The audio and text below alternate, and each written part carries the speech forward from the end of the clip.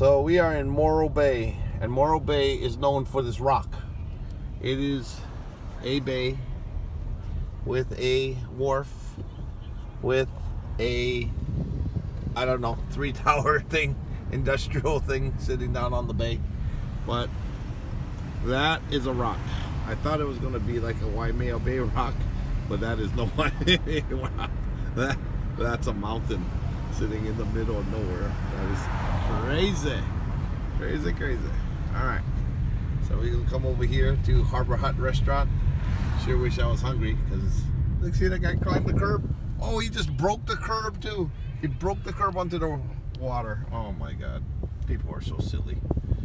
Oh my God. Free parking too. Look at that. How cool is that, right?